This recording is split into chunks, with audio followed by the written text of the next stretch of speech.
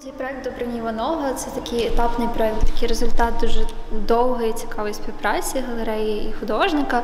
Тут представлені в першу чергу його минулі проекти, починаючи з 2013 року. Це такі проекти, які не були показані в Києві раніше або взагалі не були показані ніде.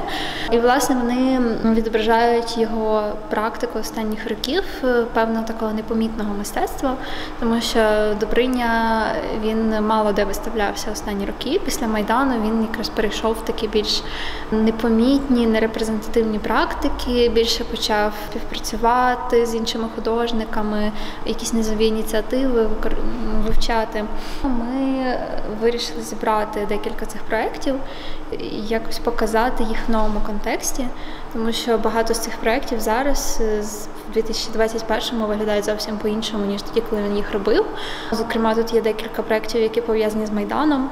Один з проєктів це Автономна Республіка Брещагівка. Ця робота була зроблена ще до ситуації з Кримом і до війни на Донбасі.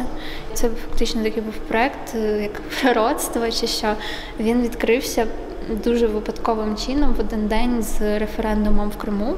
Він його показував у Львові, і це така уявна ситуація людини, яка вирішила законними методами відділити борщагівку від України. Він працював з юристами і робив такі дуже юридично обґрунтовані документи. Повний проект дуже реалістичний, хоча й фантазійний, і абсурдний.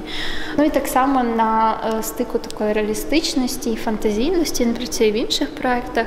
Словом, цей проект, який ми зробили в формі виставки і також в формі друкованого видання книжки, це для нас такий результат співпраці, де ми разом показуємо новий контекст старих робіт.